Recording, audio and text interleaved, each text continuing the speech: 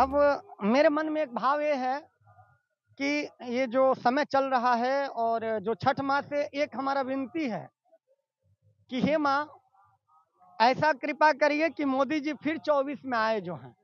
क्योंकि देश का कल्याण यदि होना है तो मोदी जी जैसे जो है यशस्वी प्रधानमंत्री का होना आवश्यक है।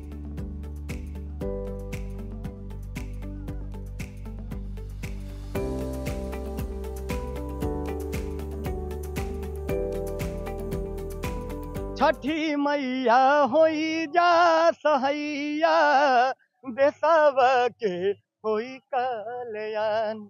धैले नरेंद्र मोदी माथे दौड़वा धैले नरेंद्र मोदी माथे दौड़वा फिर से बनैह प्रधान। हे छठी मैया, चौबीस में बनैह प्रधान ये भाव है क्योंकि ऐसा मान्यता है कि अपना मनोकामना पूर्ति के लिए लोग अपने माथे पे रख के छठ घाट तक पहुंचाते हैं दौरा।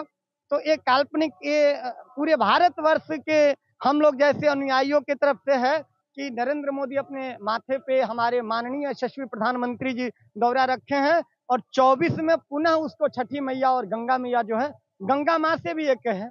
अरे गंगा मैया हमीला कलैया, होई जैतू तू सहाय धैले नरेंद्र मोदी माथे दौड़वा, फिर से बनैह प्रधान।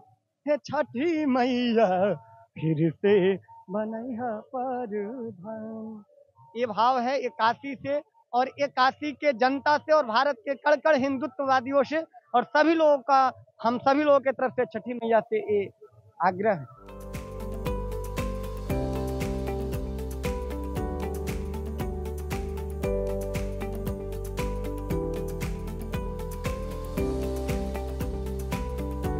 छठ मनाया जाता है ज़्यादातर बिहार में, लेकिन छठ माँ का महिमा इतना ज़्यादा परम्पार है कि ये हर जगह हर जगह मनाया जाता है। मैं दिल्ली से अभी चल के ही आई हूँ।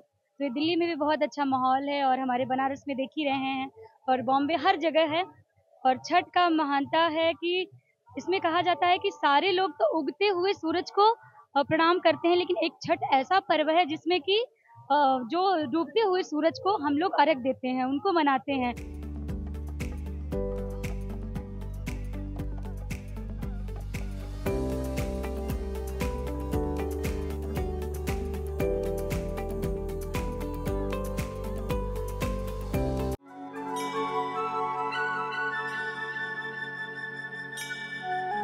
लोक आस्था के महापर्व छठ की छठा बिखरने लगी है।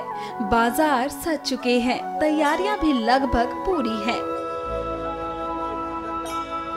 नहाई खाई के साथ इस महापर्व की शुरुआत हो गई है।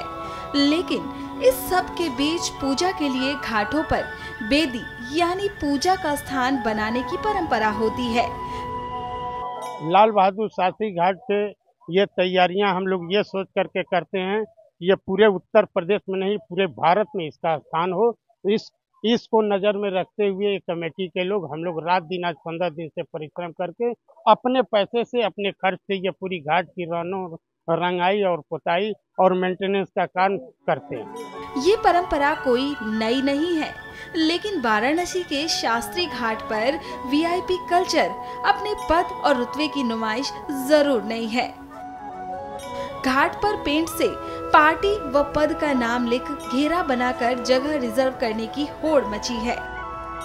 नाम लिख करके जो अपना पद और पोस्ट का और पार्टी का जो भी लोग लिखते हैं, ये गलत है। ऐसा नहीं होना चाहिए। क्योंकि हमारे देश में आई एस या जो भी विभाग है, ये बहुत मोस्ट पोस्ट होता है और वो ज़मीन पे लिख दिया जाता है, उसको हर आदमी पैर तले को चलते हैं, ये स्वाभिमान के खिलाफ।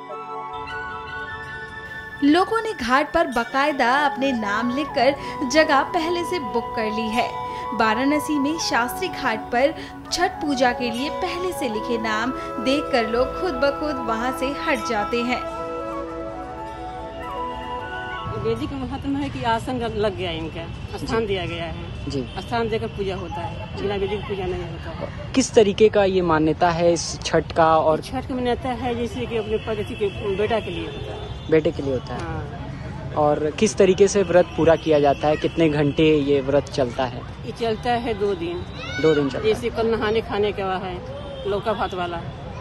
उसके बाद से रोटी और खीर वाला। उसके बाद चौबीस घंटा बिना पानी के रहा जाता है। बिना पानी। निर्जला। जी। बिना पानी के। उसके बाद सूर्य देख करके अर्घ ले करके अतवान पानी पिया जाता है। भगवान भोलेनाथ की नगरी काशी में। आस्था का उफान छठ जैसे लोक आस्था के पर्व पर खूब नज़र आता है। अपनी जगह छेकने के लिए लोग पहले ही घाट पर आकर अपना नाम लिख जाते हैं।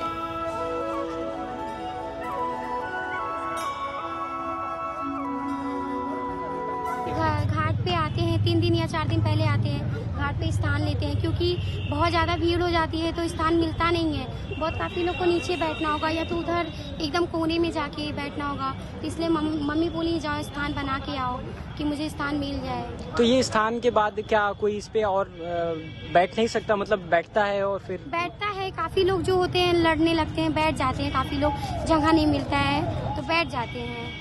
लेकिन ये स्थान पहले से ही चिन्हित कर दिया जाता है हाँ, भीड़ की वजह से। भीड़ की वजह से चिन्हित कर लिया जाता है कि स्थान मिल जाए हम लोग को।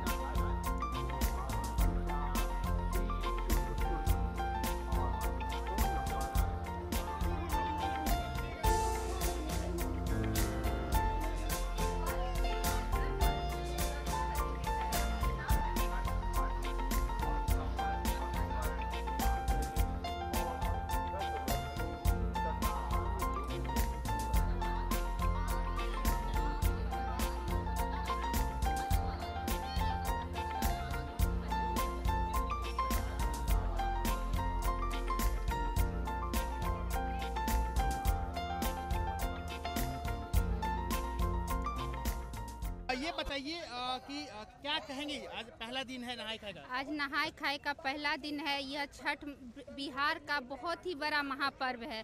अब इसको बिहार के अब सभी जगह लोग मनाते हैं और यहाँ नहाय खाए के दिन लोग आते हैं, नहा के गंगा जल ले जाते हैं, जिससे प्रसाद बनता है। यह बहुत ही आस्था का त्यौहार है।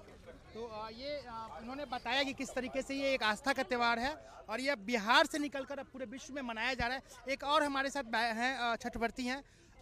क्या कहेंगी? आज आप गंगा जी में नहाने ये पहला दिन है। बिल्कुल।